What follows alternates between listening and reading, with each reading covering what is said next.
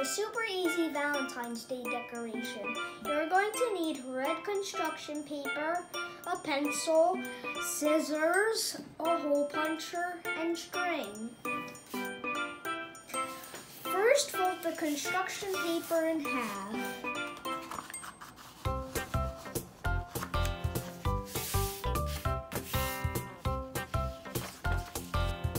Next, draw half heart shape.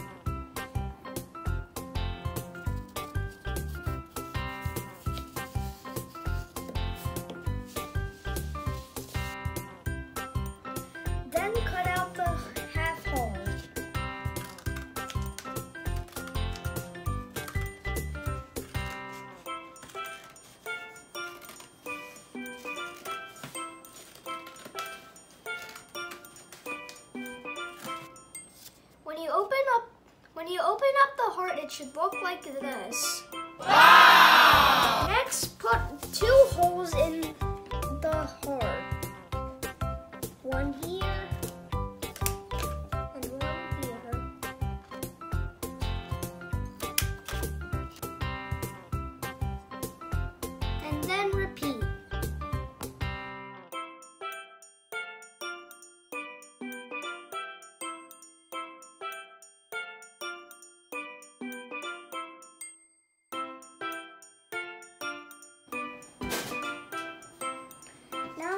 ready to put the string.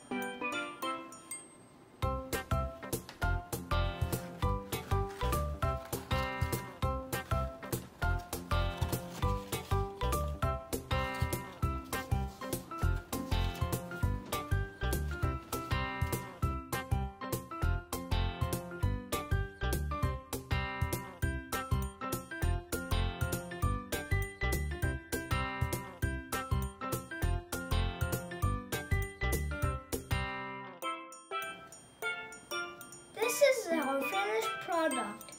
Thank you for watching. Please like and subscribe and hit that.